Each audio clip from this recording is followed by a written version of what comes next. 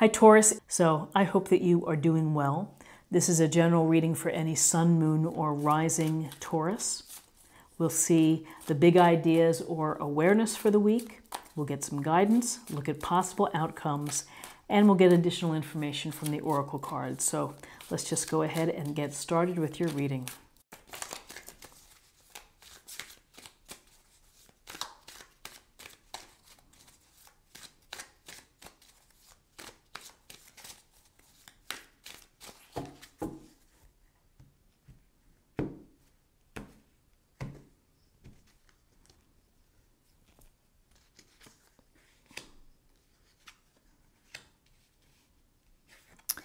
Okay, so we have the Knight of Pentacles to begin as an awareness of the week. So the Knight of Pentacles is a hard worker, someone who's devoted and who is very careful in getting the job done and is invested in getting uh, projects, things to do. It's it's he or she is very very aware and planning and practical in order to make things successful, in order to reach goals. You can see this knight is just sitting on the horse, holding the pentacle, and is looking downfield at maybe everything that's growing. He's thinking about how to build greater foundations, how to have more coins, how to improve resources. He's going to work hard He's going to study, it's going to be reliable and steadfast. So, the energy that's coming through for you is this very, um, again, stable energy, very grounded, pragmatic energy. Slow moving, taking your time, doing your best work in order to reach your goals. You know that ultimately you'll get there. May not be as quick as everybody else, but it will, it will be a job well done whatever is your focus for the week, it is a gentle reminder to to work smart and to put in the time and the energy and the focus and the lack of distractions in getting it done.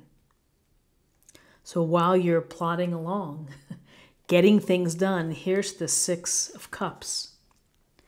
And the 6 of cups is a, it's a card of gentleness, it's a card of kindness. You see the older child giving the younger child a cup filled with flowers. A random but beautiful moment. And so this is a card where it's a nice reminder to be gentle and to be considerate and to be kind to others. That just like a child would be sweet and would pluck maybe a flower to give to a parent, here's this energy to say it's okay to be gentle and to be good. You know, there doesn't have to be a reason to do so, just do so. Another part of this Six of Cups is sometimes we think back on old times. We may find comfort in our memories, we might find comfort in nostalgia. We might use it as a reference points that you remember, well, when I lived back there, I was really happy. What am I missing now that I had then. So you can use it to inform yourself and to give yourself uh, information. And it could also suggest that maybe you're meeting up with someone from your past. It could be a lunch date, it could be driving through an old town, an old professor. Uh, you run across a picture from a yearbook or something and brings back fond memories. But there's a sense of accessing nostalgia here that's not, not harmful, that is sweet and kind and it's a loving fashion. The thing to think about, however, is not to get stuck in living in the past and not moving out from that. You have to acknowledge the past, you have to put it in its place, remember it for fond memories, and then keep living. Keep living. Don't let your past stall your progress.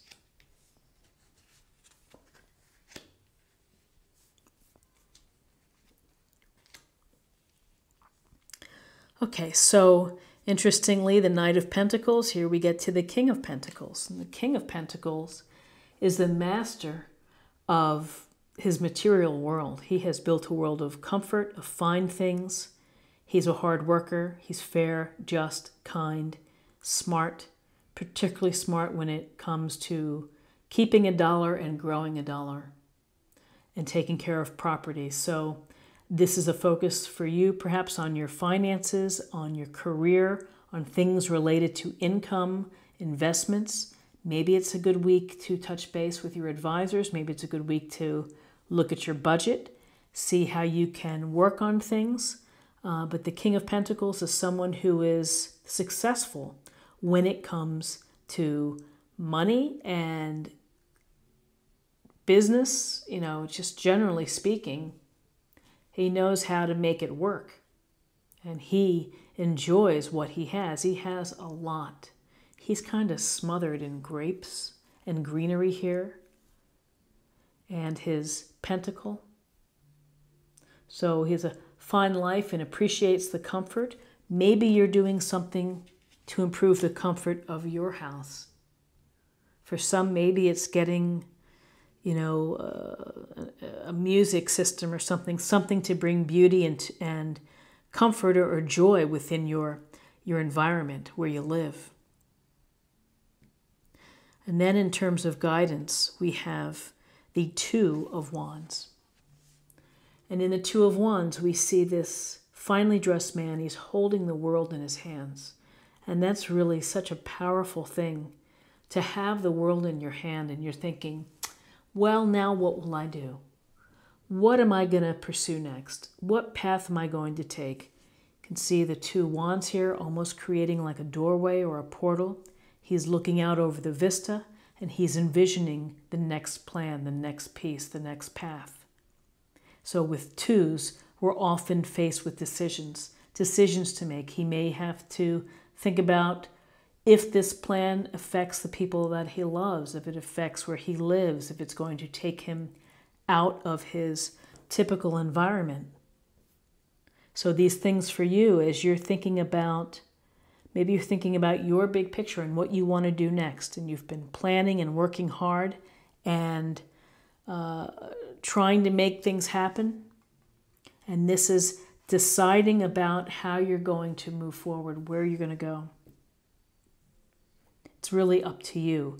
You have the power to choose your passions and your enthusiasms.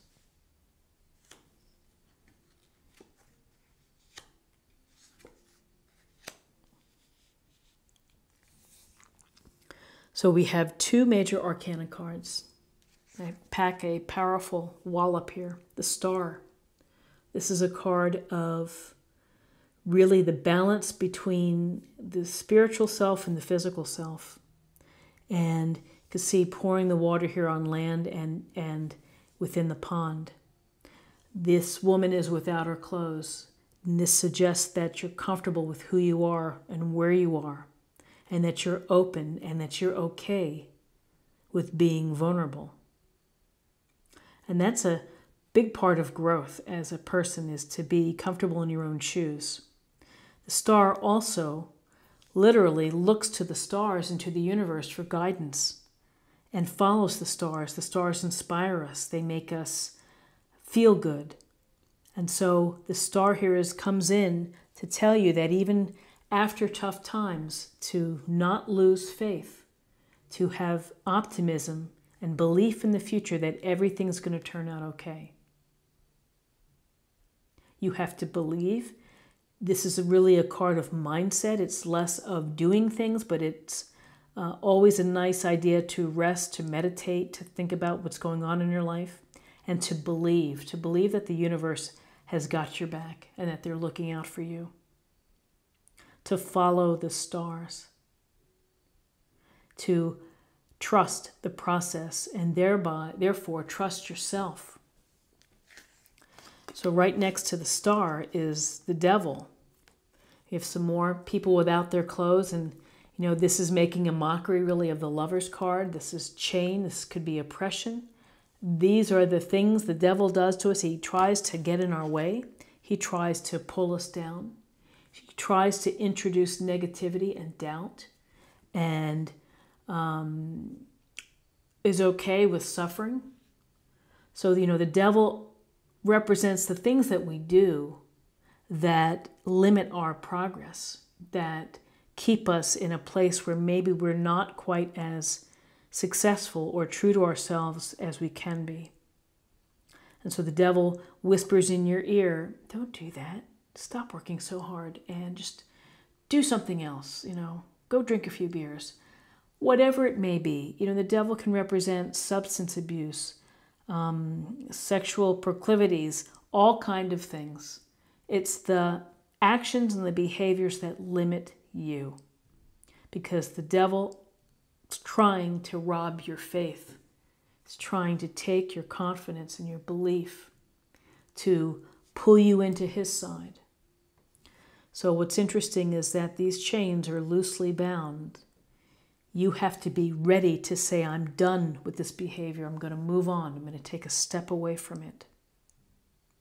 I feel, though, that with the star, the stars are pretty powerful cards. It's about faith and optimism.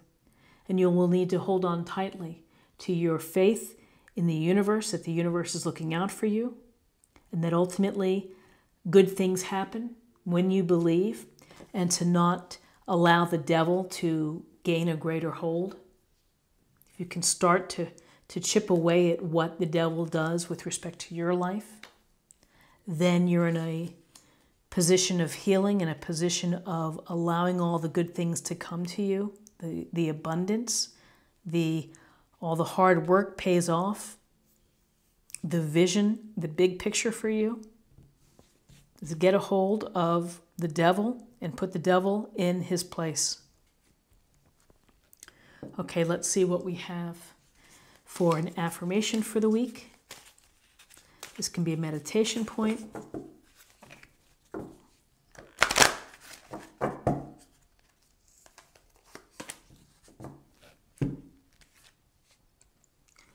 The Desert Prince Survival, False Promises. So the Desert Prince here is armed and he has his line behind him, suggests courage,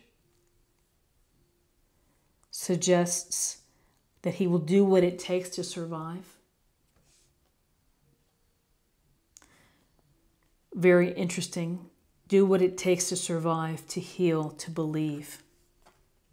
And then the shadow side, the false promises. The false promises to me is what the devil's whispering in your ear.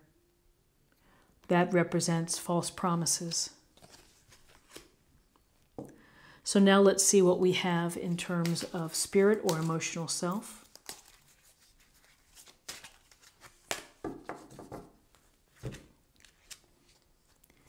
Relationships. Relationships are just mirror images of your own life, how you feel and treat yourself, as well as how you react and respond to different situations and people around you. Be aware that every relationship is an opportunity for soul growth. So, your relationships, embedded within how you treat people of kindness and consideration, your relationship with yourself is important as well. You know, when you feel good about yourself, then it it flows, positive energy flows. But if you feel, you know, if you feel that you have some things to work on, then uh, you know, can it just can uh, can manifest itself in ways that maybe people might might sense it that you're in a challenging place. Everybody at their a point in their life is in a challenging place because of the devils that we face. And so if we can focus on the good in our relationships, if we can focus in focus on being honest and being again kind and generous and loving, then that goes a long way.